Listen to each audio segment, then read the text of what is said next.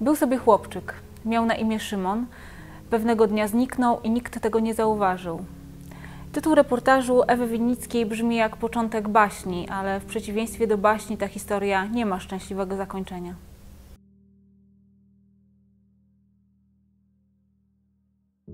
Ewa Winnicka, y, reporterka, autorka takich książek jak Londyńczycy, Angole, czy też y, biografii Barbary Piaseckiej-Johnson, y, wraca w tym reportażu do sprawy z 2010 roku, kiedy to w Cieszyńskim Stawie odnaleziono zwłoki kilkuletniego chłopca.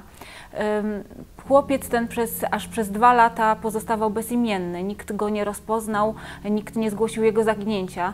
Tożsamość dziecko odzyskało dopiero po dwóch latach bardzo żmudnego i trudnego śledztwa, które Ewa Winnicka relacjonuje niemal dzień po dniu. Mimo dużego zaangażowania prokuratury i policji w rozwiązanie tej sprawy, tak naprawdę gdyby nie doniesienie pewnej upartej sąsiadki, być może do dzisiaj nie znalibyśmy prawdziwej tożsamości chłopczyka z Cieszyna.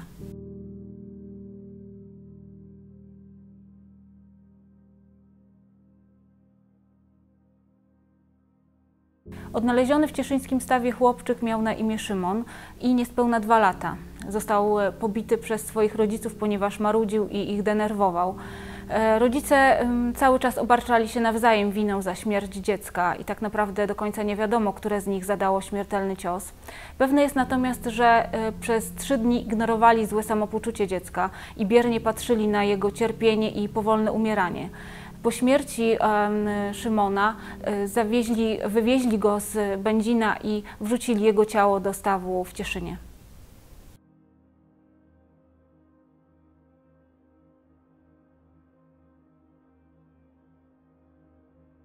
Reporterka opisuje także, jak przez dwa lata rodzicom udało się oszukać e, instytucje, urzędników, e, rodzinę, e, sąsiadów i utwierdzić ich, że chłopiec wciąż żyje.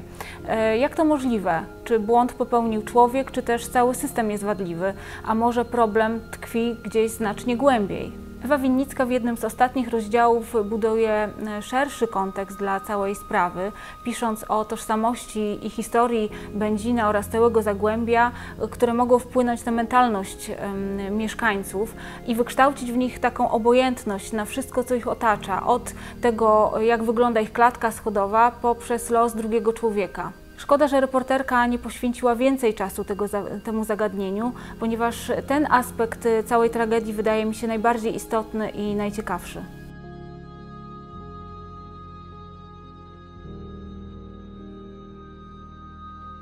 Reporterka zostawia nas z pytaniem, e, jak to możliwe, że w kraju, w którym tak wiele mówi się o wartościach rodzinnych, e, o ochronie życia od poczęcia aż do śmierci, e, co roku aż, kilka, aż 15 tysięcy dzieci staje się ofiarami przemocy ze strony swoich opiekunów i aż kilkadziesiąt z nich traci życie.